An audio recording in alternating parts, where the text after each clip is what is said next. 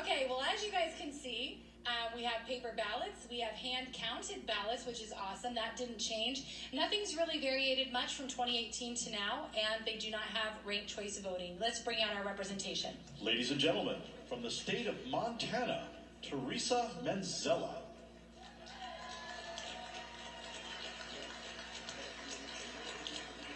All right, Theresa, tell us what is happening in Montana. In Montana, Jesus is on the throne. That gives us great hope. None of this surprises him. Our people are engaged, and uh, there's seven counties represented here. Hello, Montana. Woohoo! And uh, legislatively, we had 17 pages of election uh, legislation. A few of them got through. Some of them, a lot of them didn't. But we did outlaw the acceptance of the Zuckerbucks. That's very good. Awesome. We created consistent precinct sizes across the state, 2,500 and under. So we're setting up for hand counting. Uh, we made it a felony to have a modem in your election system. So that's good. Oh my gosh. Um, President Calvin Coolidge uh, is quoted as saying, It's much more important to kill bad bills than it is to pass good ones. Would you agree? I would agree. Um, let's see. So we killed the jungle primary bill, which was promoted by the Montana GOP. Hmm, interesting, huh? We did uh, prohibit ranked choice voting, and that was done by Representative Lynn Hellegaard, who's in the in the audience here. Wave your hand so we can see you. Yes, Thank thank, you. you. Representative Hellegaard. As a freshman, she did that. And then I wanted to share one specific bill with you that we actually killed. It was House Bill 4, 402 that was sponsored by Representative Dave Beatty and co-sponsored by Representative Wayne Rusk. That required that a person whose citizenship status is not yet verified be allowed to vote. We killed that bill by one vote during a time when our borders are open and drugs are flowing freely into our country and child trafficking is on the rise, we want to allow non verified citizens to vote? No, absolutely not. Excellent work. Yeah, Excellent work. yeah. All right, I have this. Um, tell me more. Oh, goodness. Um, well, let's see. Where's the clicker? You have the clicker? I have the clicker. Okay. Um, Those are not. this, that's okay. you look- you We have a, we actually have a, yeah, go ahead, go ahead. Okay, good, perfect, this is good. Oh, this is a video. And twenty second video of something that happened in Carbon County. Uh, this is the election clerk, and you tell me what she's doing. She's shredding ballots.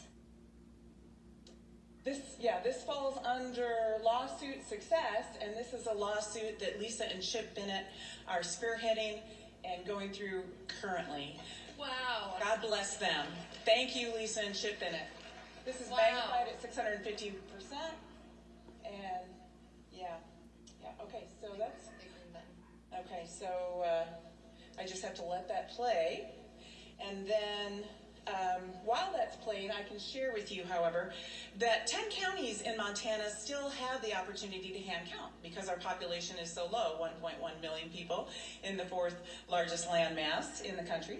And so that statute is still on our books, as is a local ballot initiative for whatever the, these citizens want. So that is what I'm working on currently is to uh, present, to write and present a ballot initiative for local hand counting at the precinct level.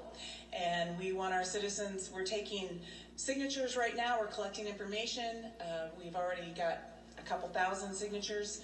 And uh, that's, that's our next move is to uh, have a local ballot initiative to do hand counting in our county, Upper Valley County. And all it's going to take is one county to break that glass ceiling, and I'm sure that others will follow. Fantastic. Yeah. So, All right, awesome. Just making sure. Let's go to the next one. All right, 10 counties in Montana. In uh, Montana. yeah, I guess I already shared that with you. Uh, that's what we're doing with. If anybody, uh, the big deal is uh, you have to have a single comprehensive issue to, on your ballot initiative. And, uh, you know, if there's any constitutional attorneys out there that might want to help us with that, because we definitely want to have, you know, hand counting at the precinct level, and then would also like to manage our own voter rolls. And those we think would be considered two separate issues. So we're trying to get the language right on that. So Uh, one of the things I want to point out about this at the top 10 counties in Montana still hand count.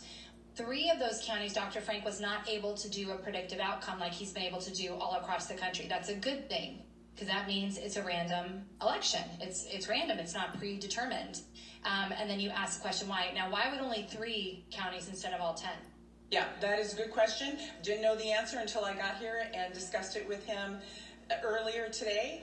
And he said now that he actually has all of the data, he can make the predictions. Wow. So that leads us to believe that it's got to be in the voter rolls because it's not in the machines. Um, that is amazing. Well, you guys are doing great work in Montana. There is more questions than answers now. Yes.